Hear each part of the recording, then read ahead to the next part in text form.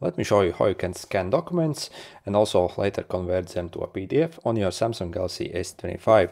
So all we need to do is simply open our camera app and in the camera app you see this like uh, four dots. So click over here and click on settings and make sure you have this enabled scan documents and text.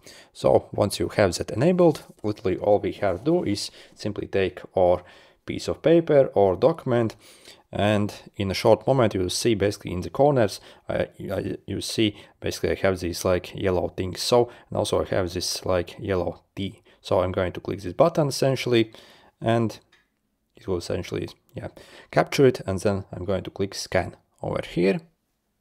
Also at this stage you can resize it. So just as you need really or crop out whatever. Also we can like rotate it as well if you need. Then let's click save and it's actually saved in your gallery as JPEG, so as image format. So if you want to convert it to a PDF, we're going to click these three dots over here and click print. Then on the top, uh, basically you will need to select this save as PDF. So click here and then select this uh, like yellow button and then select the folder where you actually want to save it.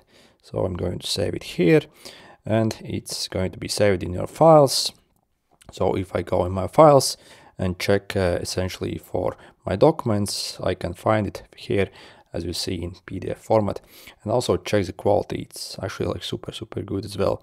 Anyway, good luck.